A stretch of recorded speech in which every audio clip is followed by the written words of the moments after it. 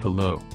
Let's look at the step-by-step -step process of determining the budget of a project by using bottom-up approach which has been widely used. Determine budget is the process of aggregating the estimated costs of individual activities or work packages to establish an authorized cost baseline. The key benefit of this process is that it determines the cost baseline against which project performance can be monitored and controlled. Here is the example for calculating the budget. For calculating the budget, we will travel from left to right. Here, we have four individual activities A1, A2, A3 and A4 that are part of the work package WP1. Adding up the individual activity cost, $1,000, $50,000, $500, $1,000 we can estimate the cost of WP1 is $7,500. Moving to the next level, all the work packages WP1, WP2 and WP3 are the part of control account CA1 and the cost can be estimated for the CA1 by adding up the cost of individual work packages, and the value is $30,000. By adding up all the cost at control account level, we can estimate the project estimate as $90,000. Adding a contingency reserve of $4,500 for the known risks, we can estimate the cost baseline by adding project estimate with contingency reserve and the value is $94,500. Now we will add management reserve of $10,000 to handle any unknown that might arise during the project. Adding the management reserve and cost baseline will give us the project cost budget and the value in this example is $104,500.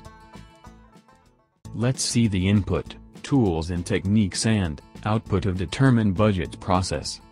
Here the inputs. Cost Management Plan The cost management plan describes how the project costs will be managed and controlled. Scope Baseline Activity Cost Estimates Cost estimates for each activity within a work package are aggregated to obtain a cost estimate for each work package.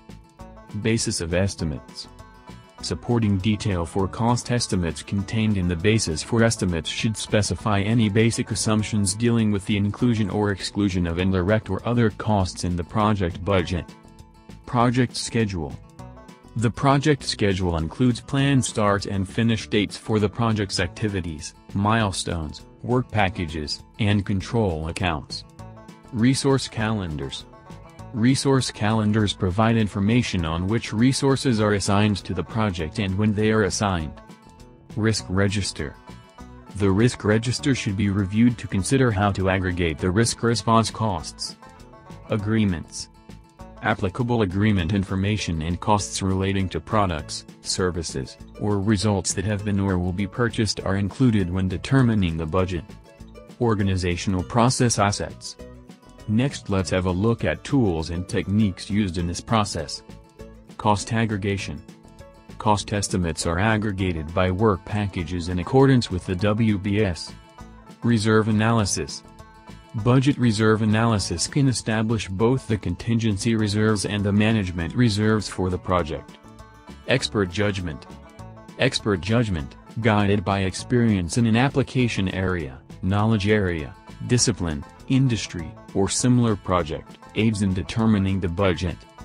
Historical relationships. Any historical relationships that result in parametric estimates or analogous estimates involve the use of project characteristics to develop mathematical models to predict total project costs. Funding limit reconciliation. The expenditure of funds should be reconciled with any funding limits on the commitment of funds for the project. Now let's see the output of this process. Cost baseline. The cost baseline is the approved version of the time-phased project budget, excluding any management reserves, which can only be changed through formal change control procedures and is used as a basis for comparison to actual results. Project funding requirements Total funding requirements and periodic funding requirements are derived from the cost baseline. Project documents updates. Thanks for watching this video, and hope it is helpful. If you like this video please hit the like, and subscribe for more knowledge sharing videos.